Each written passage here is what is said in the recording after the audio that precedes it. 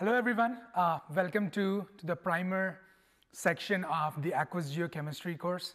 So in this uh, video series, what we are trying to do is all those students who are trying to learn this new subject called the aqueous geochemistry or environmental geochemistry, there needs to be some kind of basic understanding or some kind of like recapitulation of some of the concepts of general chemistry.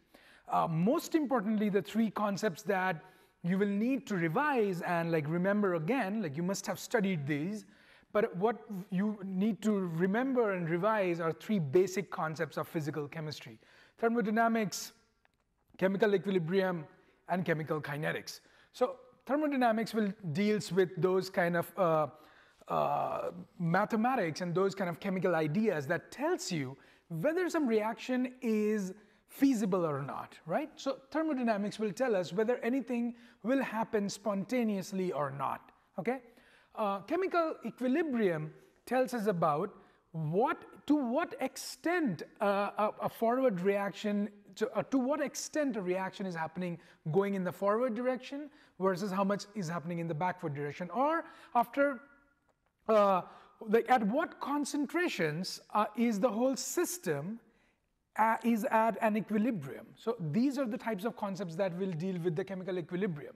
Like with small changes in the equilibrium, what, what happens to the whole uh, state of equilibrium? If you change the pressure or the concentration or the temperature, which direction does the, uh, does the whole reaction change? So is, does it uh, go in the forward direction or the backward direction and things like that will be, uh, is dealt in chemical equilibrium. Chemical kinetics uh, is the third one, which is very important, which tells us how fast things are happening. So that deals with the rate of change of reactions, right? So chemical equilibrium, once it is reached, we, we cannot determine how fast things happen once the chemical equilibrium is reached. But that, then chemical kinetics comes in and discusses that important part. So how fast a reaction is happening, because understanding how fast a reaction is happening is, is important in chemistry because uh, some reactions can be really fast. Like you need some reactions to be extremely fast. So at what conditions are those reactions going to be? Things like that, okay? Um, and chemical kinetics also gives you uh, the reaction mechanisms. Like if you deal, when we'll deal with, we'll see how, when we study chemical kinetics, we have a better understanding about the, the, the reaction mechanisms of, of, of, the, of the reactions, okay? So we uh, like we will discuss these three concepts separately. Uh, thermodynamics in thermodynamics. So th these three basically are big uh, courses in themselves, and here we'll just go through the, some of the basics so that you kind of like remember what you have already what you already know, right? So we'll deal with the basics about, uh, uh, and we'll define a system, and we'll define the system, the surrounding, and the, we'll also define the types of systems that we can have: an open, closed, isolated systems, homogeneous and heterogeneous systems. We'll then try and um, understand what, what are the different types of variables, right? So what are the states? So what, what is a state? What is an equation of state? And what are the variables? Now you can have intensive variable, extensive variables. You can have state variables. You can have uh, path functions, path variables, and things like that. So those kind of basics will be dealt uh, first in the first video. Subsequent videos will have ideal gas law revision. So we'll, we'll try and uh, uh, understand what were the different basic kinetic theory of gases laws were, like uh, what was the Boyle's law, Charles' law, uh, and the Dalton's law, and how we came up with the idea of an ideal gas equation, and what is the different condition in which um, the ideal gas law equation holds, and things like that. Okay, then we'll move on to the zeroth law and the first law of thermodynamics. Uh, in the first law, un under the realm of the first law, since first law deals with the concept of energy conservation, we need to define, we'll define internal energy, the concept of work, the concept of heat, and what are the different uh, uh, con sign convention associated with that. Like when, when a gas is expanding, is it doing a positive work or a negative work? So what are the conventions in both work and heat?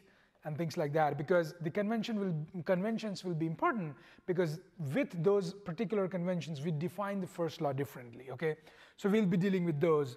And then we'll be defining a very important uh, uh, uh, a variable called, called the enthalpy. So we'll be looking at constant pressure processes and the importance of constant pressure processes and then we'll come up with the concept of enthalpy okay?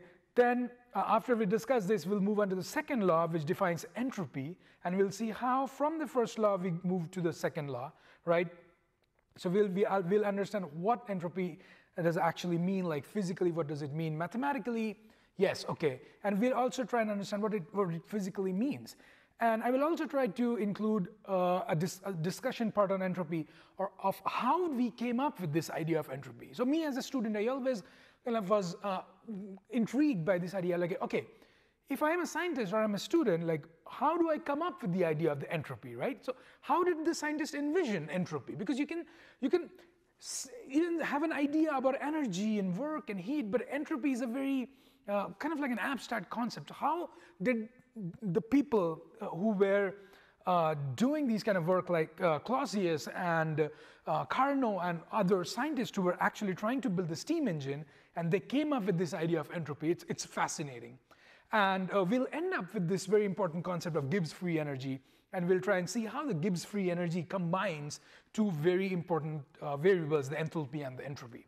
Okay, then we'll move on to chemical equilibrium. We'll understand the law of mass action, which is which which defines uh, which which takes into account the concentrations or the effective concentrations of uh, the reactants and the products, and there is a particular ratio which is seen to remain constant at equilibrium. So the law of mass action will define a very special uh, value that will very special ratio that remains constant if you just keep the temperature constant. Absolutely like mind-blowing concept, right? Some law of mass action. You know these things, but I get so excited just like thinking about these things, okay? So, and then we'll, we'll see how we can uh, define the reaction quotient and the equilibrium constant and then we'll try and see how you have different equations. So you have a chemical equation, uh, we have two different kinds of chemical equations, and how you can uh, involve mathematics to simplify uh, like chemical equilibrium. So there are certain uh, chemical equations that can behave algebraically, right? So instead of going through the entire chemical process, we can just use mathematics to simplify our work, and that will be done in combining the reaction equations. So we'll see how um, when, you, when you combine different equations, uh, the, the, the, chemical equations tend to behave like more algebraically, right? So it's really important. And then we'll have the Le Chatelier's principle, and we'll see how uh, at a constant temperature, any system in equilibrium resists changes, okay? Then we'll move on to the very important chemical kinetics uh, we'll, we'll try and define the rate laws, uh, the rate law of the forward reaction, the backward reaction, and how the rate of a reaction is defined by the change in concentration of the reactant and the product. And we'll come up with like rate laws, and then we'll see uh, when then we'll like combine the the notion of a chemical equilibrium with kinetics because these two are like uh, very similar processes because when you reach chemical equilibrium, it was seen that the rate of the forward reaction, and the rate of backward reaction becomes same. So chemical kinetics, chemical equilibrium, like they're, they are related. And then we can also bring in uh, thermodynamics to like complete the picture. Okay, so we'll be doing that. We'll define basic uh, terms like molecularity and order, and we'll then uh, move to a very important equation called the Arrhenius equation, and we'll see how uh, changes in the temperature changes the rates of reactions.